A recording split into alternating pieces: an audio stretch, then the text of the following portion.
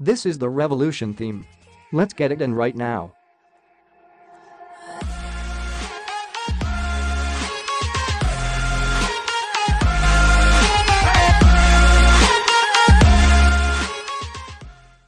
What's up YouTube? The developer with you. Nice to meet you again in this video. Today I have found for you guys this Black Revolution theme. I recommend for you this one because everything is black, and this should save some battery life. Currently I am opening the application to show you what it looks like. This is obviously dedicated for those who appreciate black themes. I know that there are many of you. Just to be honest with you. The only thing which is not available is the rounded Google search bar. Other than that, everything is like what you're seeing right now. I inform you that this is only the first part because there is its brother white theme. If you want to get the second part press the like button.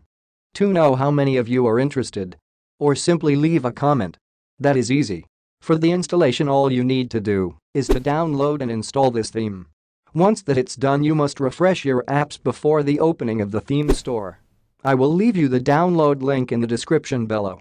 To apply the theme I think it is easy, if you don't find it just reinstall then refresh, this has actually happened sometimes.